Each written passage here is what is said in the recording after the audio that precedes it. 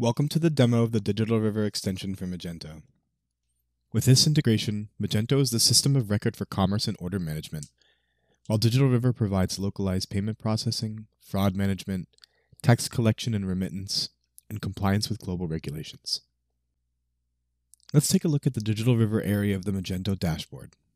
General settings can be accessed by selecting Stores on the left, then selecting Configuration. In the sidebar, you can access Digital River's General Settings area, which contains settings for API connectivity, encryption, and site information. Below that, you can set up Catalog Sync, allowing you to control the frequency and schedule of the Magento extension's automated product sync. The only other piece of setup necessary to get started is in the Sales section under Payment Methods. Scroll to the bottom to find the Digital River Payment section which allows you to enable Digital River's drop-in payments integration. Now let's take a look at the demo storefront.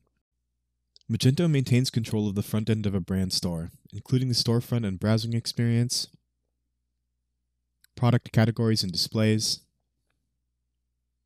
adding products to cart, and the top right mini cart display. If you are not logged in, proceeding to checkout will prompt you to either log in or create an account, which is handled via Magento's user management system. In the checkout process, Digital River enables the right local payment methods, as well as calculating tax and enabling the appropriate terms of sale and other legal disclosures required by local laws. After a shipping address and method are chosen, tax is calculated and displayed here.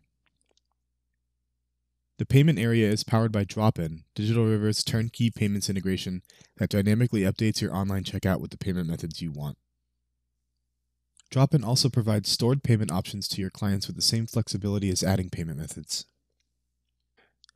After choosing payment information, Digital River powers the disclosure acceptance and authorized reseller display at the bottom of the page.